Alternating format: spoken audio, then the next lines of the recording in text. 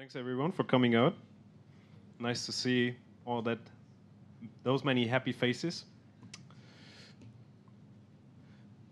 So you can write a link checker in the weekend, or at least that's what I thought. I'm Matthias. I'm an open source developer. Recently, I became a Rust consultant. This is my consultancy. This is not a talk only to Rust developers. So even if you're not a Rust developer, you should be able to get something out of it. The reason why I started this project was that a couple years ago, I looked for a linter. A linter is a tool that helps you improve your code. And turns out that there are quite a lot of linters. I started to write down all of the linters that I found into a markdown file and I pushed it on GitHub. Didn't think much about it. And a couple years passed, and this list grew into what you see here. And every linter has a website, and the link to the website can break. And this is what I wanted to fix because people would tell me that a website link was broken, and then I needed to go and manually fix it. So I thought, how can I automate that? And the easy way would be to write my own link checker. So this is what I did. I had a YouTube channel in the past. It was called Hello Rust. Not sure if the microphone is working perfectly, but if you can hear me, then it's fine. Just checking. And yeah, I live coded it in a weekend, and it sort of worked.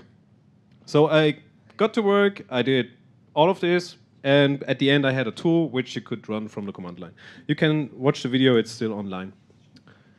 At the end of the day, you run it from the command line, and it has a couple commands. For example, you can say dump all the links that include GitHub, or you can say check all the links in the README, gives you a progress bar, and it has verbose output for different formats, and so on and so on. So it has quite a lot of features. Yeah, it seems like it's going down and it's going in cycles, but yeah you will figure it out. Yeah, Litchi was born. Litchi, this is how you pronounce it. Oh, maybe I should. Maybe I should use this one then, huh? Because this one is better. Okay. You were about to say. Yes, unfortunately. No worries. It's more official anyway because now I look like the U.S. president. State of the nation. Uh, the the uh, project name should not be hard to pronounce for an Italian. So it's Litchi, not Lychee, Litchi. Does anyone know this person? That's Daniel Stenberg, and he is the author of curl. And curl is a tool that is used by billions of devices, literally. It runs in your car, it runs on your washing machine. And he has been working on curl since we just checked with Alessio today, since 1996. And all he does is write curl. And still, people say that you could rewrite curl in a weekend or you can do it in 100 lines. And he found it, that it was so funny that he created this website to collect all of these memes, all of these remarks. And just today I checked because he has another website, because I checked for curl memes and he collects curl memes. and I realized he has a meme by me. So, yeah, that was nice to see. So, I think this is really true. Curl powers the web. And a lot of people say you can't build it in a weekend. This is the same set of people that has never done anything in a weekend. So, just because you say you can do something doesn't mean you can necessarily do it. And also, what does it mean to write curl or write, a link checker. It's a long task. You probably want to scope it. And also, just as a remark, I like the Gophers. This is not a competition here. But the tool is written in Rust. And there are a couple reasons for it.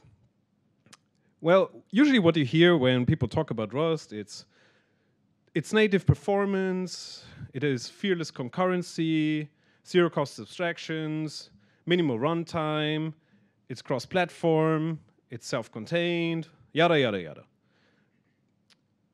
I would say on this list, the only thing Litchi really cares about is the amazing networking ecosystem and robustness. Performance is a subset of robustness, I would say. At least it kind of results when you build something that is really robust, then you can optimize it and make it concurrent, for example. This is what Rust allows you to do. But really, I guess you could write the same tool in any language. For example, Go. And there's nothing wrong with this.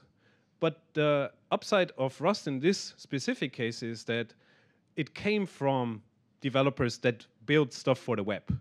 So the first use case of Rust, maybe some of you know, is Servo, or it was Servo. It was a browser engine written by Mozilla to be not a replacement of Firefox, but to integrate some of the functionality into Firefox eventually.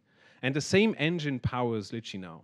So Litchi is kind of browser grade, quote unquote, because it uses the same engine, not because, yeah, it's necessarily an amazing tool, but it is based on this work from other amazing people.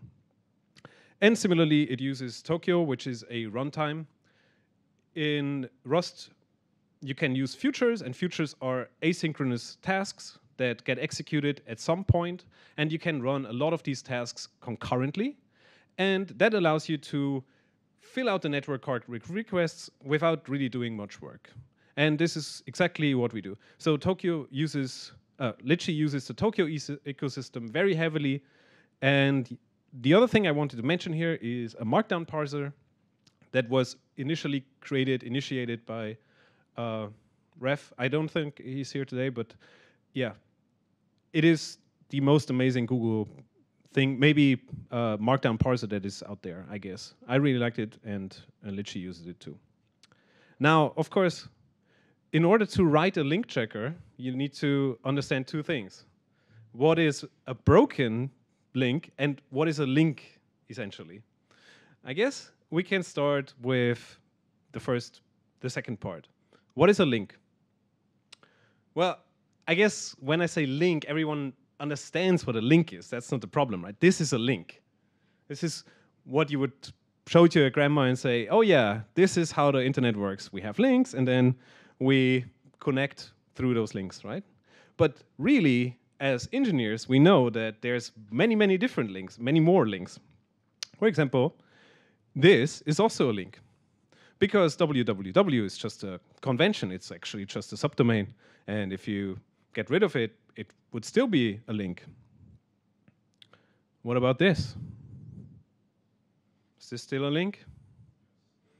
Yes. The schema is missing, but the browser can infer that, right? What about this? No, this is not a link. Tricked you there. Because the browser doesn't know what schema that is. It's a colon without the schema. What about that? Yes, this is a protocol relative URI. Yeah, you meant that. Ah, yeah, I would say that too now. But let's say you're on a website and then you see this, then the browser knows that it should use the exact same schema that it used to resolve the original website. So if you go to https example.com and you have slash slash example.com slash foo, then it will also use HTTPS to resolve that. And if you used HTTP, then it will use HTTP. And this is nice because let's say you transition from HTTP to HTTPS, then you can support both with both browsers, uh, with both schemas. Right. We established this, but what about that? Do you just keep saying yes? Like, it's, it's kind of a hit of, or miss for you, but. okay. It, it, it is not. Well, or is it? Who knows? Because really, the thing is, what does that even mean? Example in this case. Well, I would say in a normal URL, that would be the host, right? But if it's the only thing, then it's the TLD. And this, for example, is a valid link. So if you open your browser and you go to AI, and you have to probably add a slash to it to make your browser uh, resolve it, then it will resolve to a website, to this website. And the reason is that someone decided that it's a good idea to have a TLD domain. So you can resolve it. And this is funny, I think. What about that one?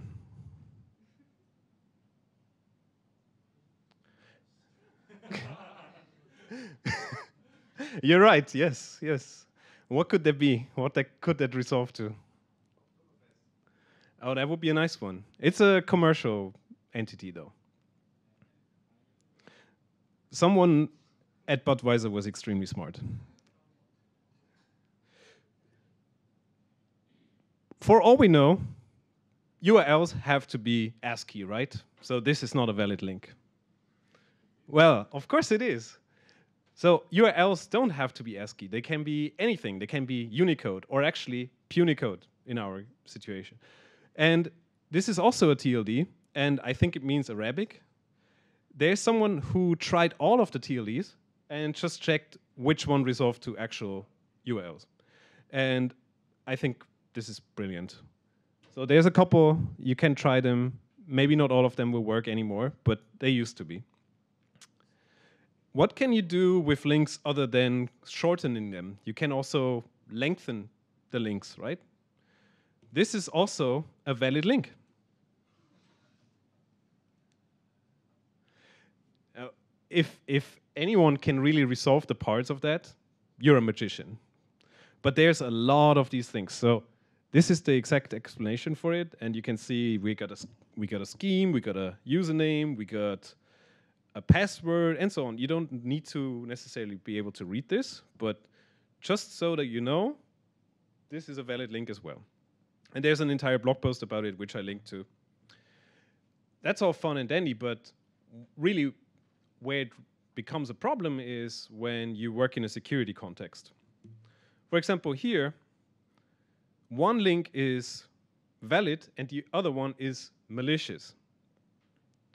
Which one is the malicious link? Why? The slashes are different. Some, some of you have really keen eyes, that's true. Yeah, one is a slash, but the top one is a Greek divide. Yeah, and why does it work in the first place? Because Google decided that .zip was a nice domain name. So now not even developers are safe from links anymore. So don't laugh at your grandma when she clicks on something uh, malicious again, because it can happen to us too. But I mean, these are URLs. URLs are complicated. Really, what is easy are email addresses. Everyone knows how email addresses look like. That's an email address. Is that an email address? Yes, it is, because it turns out, same trick as for URLs, you can have an email address or a URL, I guess, if you own a TLD. Oh, in this case, for TT, for example, this works. If if you have mail at TT, then it can be resolved like this. And I don't want to bore you with all of the edge cases for email addresses. You can look up the list on the internet. There are pages and pages of descriptions. And I just think this is really funny as well, because you have so many edge cases that a parser somehow needs to handle, and a human understands, but maybe not a computer. And even for humans, it's sometimes very difficult. All we know about email addresses that we can be certain about is the at sign. So this is how we can differentiate between a URL, and an email address. Unless Medium decides that an ad would be nice as a path parameter. Yeah, but I guess still the heuristic would be if it contains an at sign, then it depends. If no, then no. This is kind of the only rule you can come up with. Now, this is already quite complicated, but we also need to talk about the other part, which is brokenness. What is a broken link?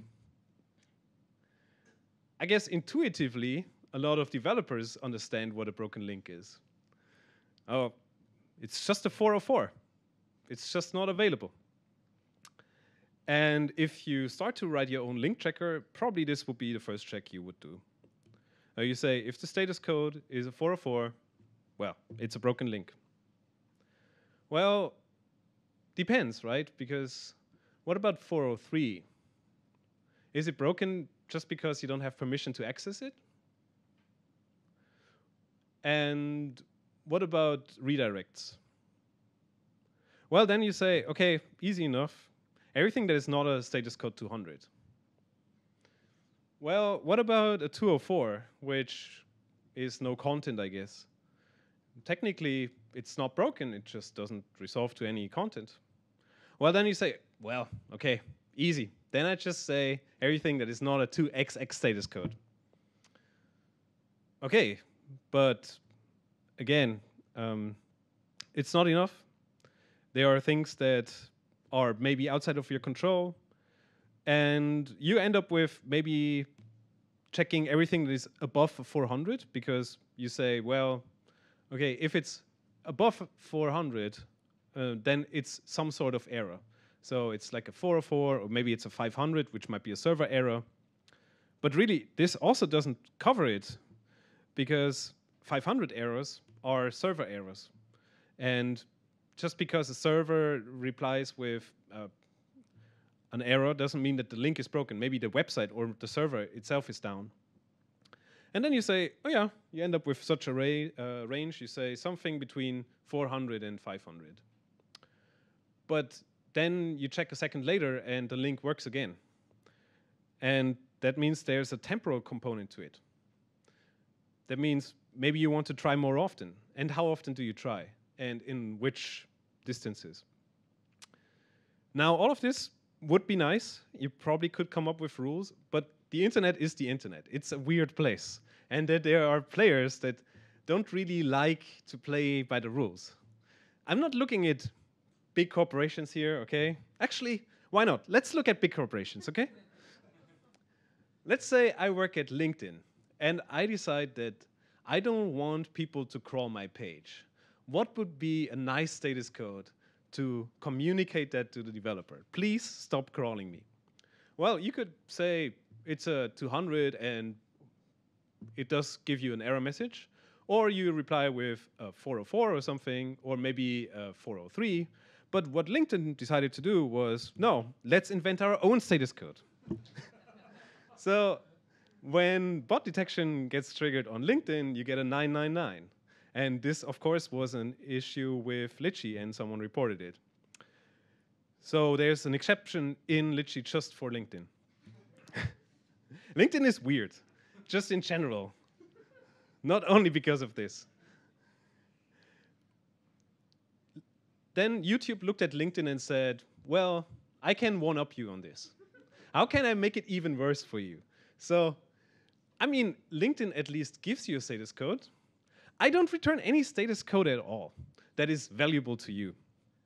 What I will do is I will abuse a certain different status code to communicate something entirely wrong. For example, if you want to check a YouTube link, a YouTube video, then even if the video is not up, the tool will return a 200. So the video is down, but you still get a 200 error code. Even curl has that problem. For example, if you try to curl this uh, video, it will work. And if you curl the other video with just the letter Q at the end in lowercase, it will also work. But in reality, one of them is working and the other one is broken. And in Litchi, there's a workaround for this that came from a contributor that wrote a separate tool. And they said that the only certain way they found to check YouTube videos was to check the thumbnail. So if you check a video link, in fact, Litchi checks the thumbnail because the moment the thumbnail goes down, the video is also down and it works consistently. Well, that's the weirdness of the internet, right? There's nothing weirder than that. of course there is. There always is someone who's even weirder than that. I have my own love-hate relationship with Twitter. I will call it Twitter for the rest of my life. I decided not to call it X. It's a weird name. And what they did was kind of strange too. They said, okay, we will cut off support for checking tweets through HTTP. So you cannot use their website anymore without JavaScript. And there used to be a workaround from the very nice people at Nitter. They had a static site, so you could go from twitter.com, you replace that with twitter. Uh, nitter.net, and then it would show you the static version without any authentication, no login. Still works, yes. Works again, and does not work at scale. The moment you use it with millions of links, then you have a little problem. Yeah, so you kind of hammer their infrastructure as well. And this is a bit of a problem. So Twitter cannot be checked right now without JavaScript. Even you need to be logged in at this point. So sometimes I lay awake at night and I think about ways how to check Twitter links for everyone. Yeah, as I said, you need an account now. And that's, I guess, one story about open source. At the end of the day, you can't fix the web, so you need to find workarounds, and sometimes there is no workaround. But really, where problems arise is when you have links that should never break. Does anyone know what DOI links are? Oh, you're the dangerous ones. Do you work in academia by any chance? Used to, Used to yes. the rest has no clue, see? This is kind of a problem with that infrastructure. DOI links are links that are hosted by a trusted organization. You can be a registrar, and then you can take registries from, for example, universities, and they host infrastructure for links that should never break. And you put them into research papers, and the idea is that you can refer to that in the future and it will always continue to work. Well, it turns out someone reached out to me and said, DOI links are broken. And I learned about this the hard way. I did not want to know how the DOI links work. Well, this person is very, very delicate um, because he explained to me what the problems were and we discussed the options a bit, and I said, really, you cannot fix that because you would have to go to literally every publisher out there, and you would have to send them emails and ask them to fix it. Like, no human being would do that. I'm sorry. Well, then he said, if you don't mind, I would do it. So he just goes out and sends people emails like this, and it always starts with, your DOI infrastructure is broken, with a very clear technical uh, yeah, explanation on how to fix it. It's really cool. And yeah, he follows through, improving the web. It's really nice. People like this. This is not an actual photo. This is staged for the camera. Well, okay, now we talked about links, we talked about brokenness. Let's talk about my other favorite topic, which are edge cases. People in development roles usually think they know how to handle things, uh, how to program things. And sometimes this is because it's like the blessing of the ignorance. But even just parsing simple websites is really hard if you try to do it. Has anyone tried to parse a simple website? It is very hard. It is very hard. Why is that? Well, I guess we all started with websites like this, or at least I did. I opened my text editor, I typed something in, I saved it, and then suddenly, kind of magically, my browser was able to show the page. And it was so cool. And then later I found that I made a ton of mistakes, and it should not have worked. But in reality, it did. Why is that? Well, because the browser is really good at detecting such edge cases. For example, here, I'm just missing one angular bracket here. And still, the link works. That is really cool. You can even replace an entirely different tag with your original tag. So, uh, actually, it's the other way around. But you get what I mean. You replace an A with a div, and it still works. The result would still be the same. This is great if you're on the receiving end. If you're the person just wants to build a simple website, or you work at a company that builds websites, this is great. But if you're on the other side and you build a browser or a tool like Litchi or curl, then the parsing becomes kind of important. So from time to time, I get requests from people that report parsing errors, both in HTML, but also in Markdown. Remember, we also support Markdown documents. And Markdown is another rabbit hole. I don't want to go into the details, but I get issues like this where people say this gets detected as a link and i'm like what the hell went wrong? Like how many things have to go wrong for this to be detected as a link? You don't want to know. Well i took a screenshot of myself like i captioned the camera when i saw the issue at the middle of the night. This is my life yeah. Yeah sometimes it, it becomes too overwhelming. And speaking of too overwhelming this is an error code that you get as well, too many requests. You usually get that from API requests. Litchi does a lot of requests, and so we get a lot of four 429s. This is the status code you get. And what is the proper solution to handle that case? Well, of course, there's a sane way to do that on the web. It doesn't only send you a 429, it sends you headers that you can use to infer when you can send the next request looks like this. It's very simple. It gives you a rate limit, so you can make 100 requests. You have 50 remaining, and the time to reset is 600 seconds. That's the official standard. Easy. You start to implement it, you're done. It works for every website.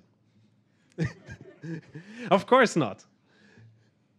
Then Reddit comes around and says, well, I really like the standard, or actually before the standard came to be, they said, we want something similar. And they said, let's add an X minus in front of it because it's an unofficial header, and let's just uh, keep that. And GitHub said, yeah, I really like it. Can we make it lowercase and not make it seconds, but a Unix timestamp until you can make the next request? And GitLab said, I really like it. Let's add another header for the remaining requests you can take for some reason, because you can't calculate it, I guess. And the reset time should be in, micros in uh, microseconds, um, milliseconds, sorry. And X said, well, I like it as well, but really let's add the X minus because actually I got used to it. And yeah, let's remove that other stupid header that you added, GitLab. Okay, Vimeo is just out there somewhere. But Akamai somehow liked it because they said, yeah, I really like a very explicit time format here. Uh, really what you would have to do is write a library to just parse all of these different things. And literally this is what I did.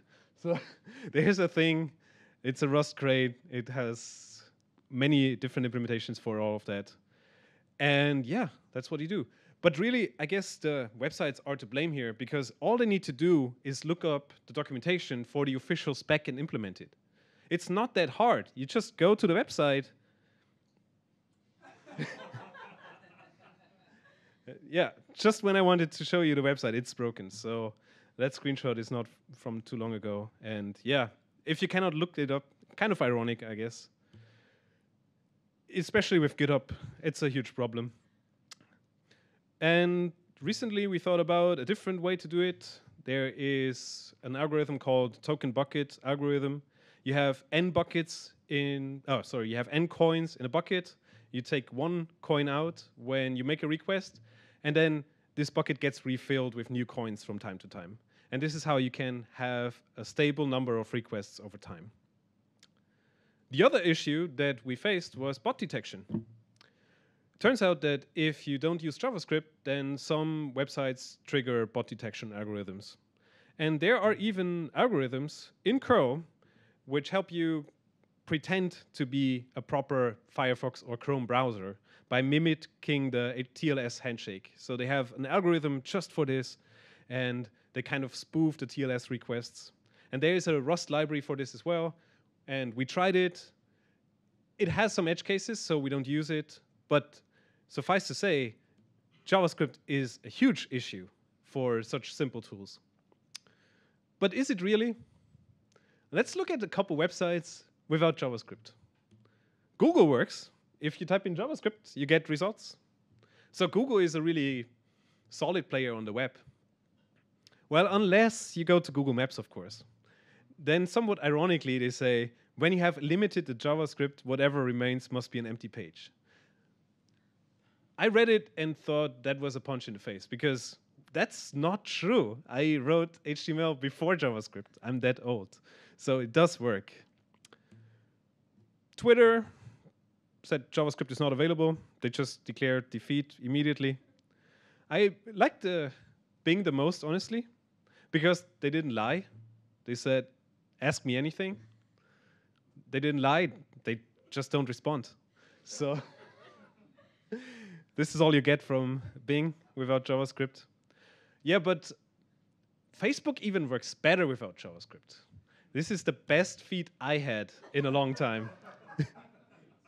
so really, we went from HTML being too slow, so we move everything to JavaScript, until everything in JavaScript was too slow, so we pre-render all HTML, until we pre-render all HTML being too slow, so we need to render some pages on request, and then we render HTML on request. Yeah, we kind of went full circle here. Another thing, recursion. When do you stop checking websites? In fact, Lychee does not have recursion support. It's the most wanted feature, but it's also very, very hard to implement just because of this. You can use the sitemap XML, and you have to respect the robots TXT, but fundamentally, it's something that I would love to add. Recursion is something that a lot of people need. There are many, many edge cases like this. What if the server never responds? What if the response never stops? So you get one byte at infinitum. What if the server sends no Unicode? Can you handle non-Unicode stuff? What if you read a one terabyte file? Can you even fit it into memory? Well, if you can't, then you kind of need to stream line by line. What if you read a one terabyte line? So you cannot parse it line by line. And I really like this image. It's kind of a meme that I created on, I call it the link checking iceberg model. Uh, we started at the top with HTTP status codes. I showed you that. And we talked a little bit about performance. We talked about redirects. We talked about JavaScript. And then we went into the deeper realms of the ocean. We went into URL parsing and we did not talk about cookies. We didn't talk about file encoding. We did not talk about proxies and single page applications. We talked about the token bucket algorithm though, but we didn't talk about control theory. At the end of the day, this is me trying to explain to my girlfriend why I need the weekend off to work on Lychee. It's like, yeah, it's always just one last feature. How hard can it be? Almost done. You might be wondering, uh, how does this thing look like? And it's really unimportant. It's, in my opinion, kind of boring code. But if you look at the diagram, it looks extremely scary. So you have a runtime, which triggers a collector, and the collector triggers an executor, and the executor has support for different formats, like HTML and Markdown.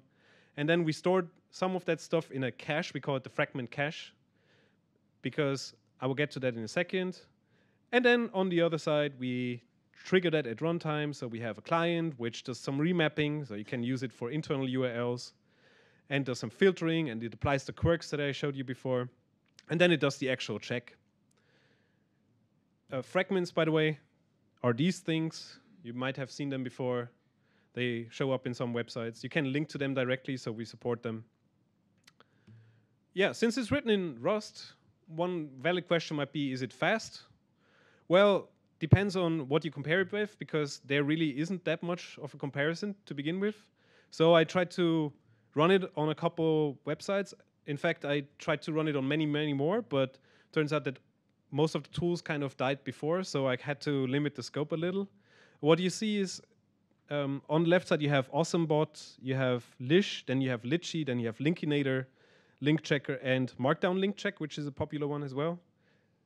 And the y-axis is the number of seconds it takes to check all of those links. We only check 1,500 in the highest case. When you see zeros, this is when the tools die. So the only one that comes close is liche, which is written in Go. So yeah, it is relatively fast. And we use it on millions of links, actually. Well, but this is part of the code.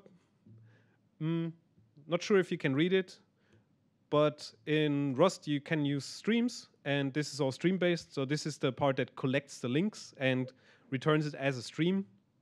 And you can see we have two blocks here, and those run asynchronously. In fact, they run concurrently. You um, fetch the contents from all of the inputs concurrently, and then you go over all of the extracted contents, and then you try to extract the links from there, and you put that into a pipeline for Lychee to check. But the code itself is not that important. Doesn't really matter if it's Rust or Go, to be honest. It wasn't the point of the talk. I guess what's more important is who uses it. Turns out that a lot of companies use it, and you might know some of them. And it has somewhat become critical infrastructure for them, I guess. We check around 2 million links, maybe more per week. And I wanted to also use that opportunity to quickly touch on critical infrastructure. Well, here's the point. Is Lychee really critical infrastructure? It's just a tool by a random guy on the internet, right? But kind of it's a small thing that people use to check their documentation, and really it solves a problem for them. And if Lychee itself isn't critical infrastructure, then at least the web is. So we should make sure that we ourselves take care of our own business and fix our links. Does anyone remember that page? This is the million dollar website. Every pixel cost one dollar. So people had an interest to make sure that these links would work. They paid for it. How many of these links still work today? There's research on this. The orange part is broken. The green one still works, and the blue one is redirects. When I first saw this, I was like, 25%? That's okay. I was surprised. This website is like many years old. But then I thought, really? Is it really? And then I started to look at some of the working links. And it's correct, they work. but it wasn't the response I was expecting. And I guess you can all tell why they are kind of broken. But detecting this with a broken link checker is almost impossible. You would have to need the human understanding to understand if this is real content or if it's a landing page, a parked page or so. And this is a fundamental problem for the internet itself because 50% of all cited links in the Supreme Court um, opinions no longer point to the intended page. And roughly 70% of cited links in academic legal journals suffer from link rot. And that is the infrastructure we depend on. This is the infrastructure we use for our legal systems. And this is certainly critical infrastructure. That's why I want to point out two amazing things, if you did not know them before. One is the Wayback Machine, and the Wayback Machine stores cached versions of pages. Funnily, they have an explanation page on what they do, and they have this really intriguing link to the Library of Alexandria. And if you click on it, of course, kind of ironic. The other one is Perma.cc, which is an entity, a commercial entity, which I guess was started by Harvard, and you can also register there to have your links working forever. But even that is broken, so that's on their issue tracker. As I said, I wanted to add recursive support, but really there's no incentive from a company perspective. No one really pays me for this. And this is a problem because there are many, many different things like this, which might be critical infrastructure for you, for your project. And I just wanted to raise awareness for that. I talked to Sebastian Sivota, who's at this conference, and he said the reward of good work is more work. And that is certainly true. Sometimes this is how I feel as an open source developer. or maybe this. Yeah. Yeah, this is how a lot of open source developers feel. And this is why I want to also just really quickly thank people that supported Lychee and worked on some of the parts of it. For example, there's Orhun, who's also at the conference, by the way, and he manages the Arch package for it, thanklessly. And then I had a colleague, Jörg, who, oh yeah, like I had, he's no longer my colleague, but he still is alive, is what I want to say. And he wrote a, lap, a wrapper around uh, Lychee for Python.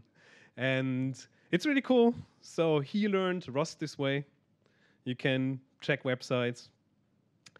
and then you can analyze the results. So what he does here, he gets a list, and he gets an item, the first item from list, and then he has a couple helper methods on the request, and then you can format it in a, uh, a way however you want. This is the open source side. There's also an academia side. There was a bachelor's thesis last year by uh, Benny Cho and Thomas. And what they did was they took Lychee and they applied it to academia and to research papers, and they maybe checked broken links there and did some analysis. They also contributed to the project. Thomas is now also part of the maintainers, and he found an opportunity to do that as part of his job now. So I really like that. He's building a tool to check Confluence links because it turns out there is none or no good one. And it uses Lychee under the hood, which is really cool. I think this is what I really wanted to say. Um, it's not about the project necessarily, it's about open source. I would say if you have an idea for a project, just give it a shot. Solve your own problem, start small. Don't even think about making it a huge thing. Um, if you have passion, if you're interested in it, people will join you. And maybe if you talk about it, maybe someone will find it interesting. Yeah. And also, speaking of which, if you want to find out more, there's some documentation on lychee.cli.rs. And with that, thanks a lot for listening.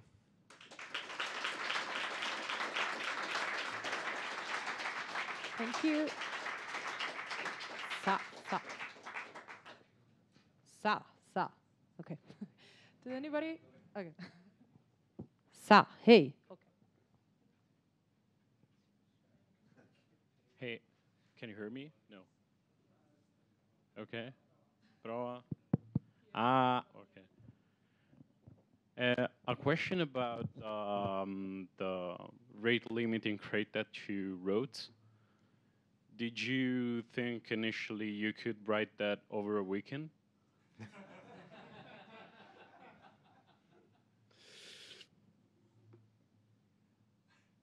well,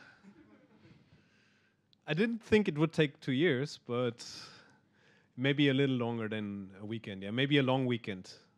Coming back to this original blog post, and a three-day weekend would have sufficed, but no, it wasn't that easy. Okay. Thank you. Okay.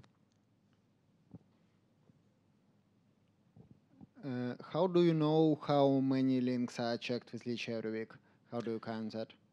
I only know the public projects, and what I did was I scraped all of the projects and I extracted the links once, and then I went ahead and took, uh, checked their GitHub Actions pipelines, and I saw how often they would run, and then I got my estimate. And then recently, a big company reached out to me and said, "Oh yeah, we basically do that next, like we do about the same amount in a closed source project." And I'm like, "Okay, did not know about this." So it's probably way, way more than that. Mm.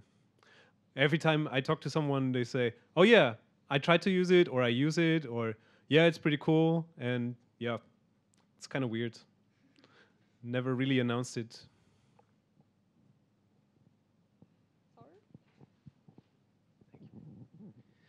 So what about async? Are you doing any like high level magic there, or is it mostly just reqwest and uh, relying on the speed there? Yeah, it's mostly reqwest. We found a couple bugs in reqwest, which we fixed, which is great. It turns out if you check a lot of links, you will also run into a lot of bugs, which helps the broader ecosystem. Reqwest itself is nice. It I would assume it also has a funding issue. There would be opportunity for a company to sponsor a reqwest because it has become critical infrastructure for the Rust web ecosystem at least. And yeah, there's really not much else you could do. You could write your own wrapper around it. It would be a lot of work, I guess. And we tried a couple alternatives to reqwest. We came back to it because it was sort of a nice mixture between pragmatism and it's handled many, many edge cases already for us, which many other things didn't do. Mm, yeah, sometimes I wish there were a couple more things in requests that I'm lacking right now that I wish uh, would exist, but yeah. Apart from that, it's pretty solid, and I like it. I like the work they put in. So do you have like a huge collection of futures which get the pages, or how, how do you manage so many requests at the same time? Yeah. So this is kind of what I wanted to show here. This is more or less the core of it, almost, where you get inputs, then you read them asynchronously. So in the meantime, you can still check requests, of course. And then once you parse an input, you can extract links from this input with your parsers, for example, with Servo or with the Markdown parser. In Servo, they use a thing called html5ever, and there's a new one called HTML5 GUM, which is written by Markus Unterwaditzer from uh, Sentry, and it's stream-based and it's a little faster, I would say. So we use that actually now. We support both. And yeah, then it gets into a pipeline, and we do some shenanigans there, filtering out some stuff, and then it reaches a stream which can be consumed by the checker itself. Yeah. Yeah. If you ask me if I would change anything in the architecture, I would say yes. There's a lot of things that I would do differently now. Probably simplifying the abstractions even. If you could make it easier, then it would be easier to maintain. So technically what you do is you really don't really care what it, a request is. It can be anything. What I'm building is almost like a browser engine. So something that is working asynchronously on random payloads that can come from many places, and then you handle them sort of efficiently, I guess, and you validate them with external things. So I guess a new version of Lychee would probably heavily use WebAssembly and do all of the logic inside WebAssembly. And then Lychee would just be a runtime for these WebAssembly payloads. And then as a company, you could write your own scripts in whatever language you want and validate however you want. Because then you can get rid of these issues here. Like you can write your own logic, for example. If you wanted to check affiliate links for Amazon, then you can write some JavaScript and check if the affiliate links work. And then that doesn't have to be a part of Lychee. And maybe we will integrate WebAssembly support soon. Yeah. Didn't really answer your question, but I'm glad you asked.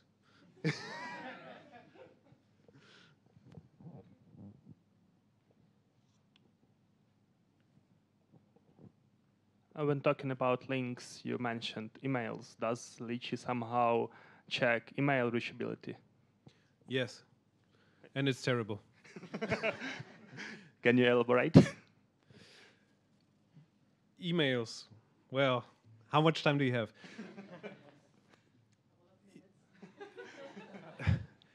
uh, vendors will block you if you check emails. And they will put you on a blacklist, which means you cannot send emails through them anymore if you don't pay attention. And that can happen. And there are services out there that do that, and you will find that what they allow you to do is very limited. So they only allow you to check five or 10 email addresses, and that's it. So it's kind of a dangerous area, unfortunately. And I wish it was as easy as checking websites, but it's a whole other can of worms. We use a crate for that, which runs infrastructure. And yeah, it works. It can check most of the things, but it cannot send actual emails for being exact, uh, for being really sure about it. Also, even if the email reaches your inbox, doesn't mean that you necessarily know about it. Or how do you know about it from the outside? Someone would have to reply, and then, yeah, this message could also be lost. So it's kind of a tricky problem. Yeah, but it does check emails. Yes, probably will be optional at some point because right now it is opt out, but I want it to be opt in because it causes a lot of problems if you have many email addresses. Companies don't like that. That's uh, TLDR. Thank you.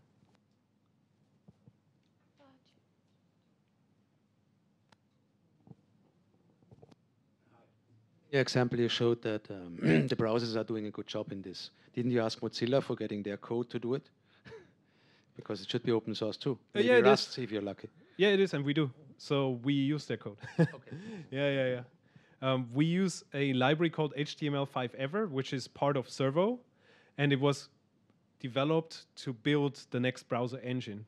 So they really did all of the work to make it robust, and we can profit from this. So in the diagram, in the architecture diagram, which is way too small, I apologize, but it can see at the top next to this database thing, we have html5ever and html5gum. So html5ever is the one from Servo. Yeah. Yep.